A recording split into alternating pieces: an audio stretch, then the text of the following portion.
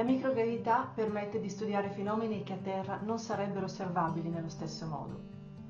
Per esempio, non essendoci la sedimentazione, le strutture crescono in maniera più regolare e questo è fondamentale, ad esempio nella cristallizzazione delle proteine, permettendo di eh, studiare patologie e possibili cure, oppure eh, nella costruzione in vitro delle cellule. E eh, un altro aspetto molto interessante è che il calore, eh, che influenza molte di queste reazioni, non si trasmette come a terra perché in microgravità non c'è la convezione.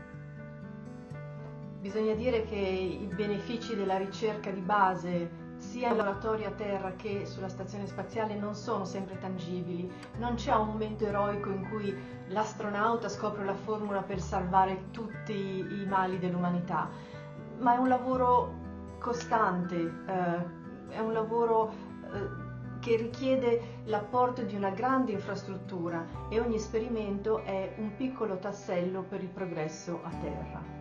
Se ci pensate, il solo fatto di mantenere un equipaggio in orbita per tutti questi anni ha spinto lo sviluppo verso la ricerca di materiali leggeri ma resistenti, ehm, la miniaturizzazione, l'energia fotovoltaica, i sistemi di purificazione dell'acqua.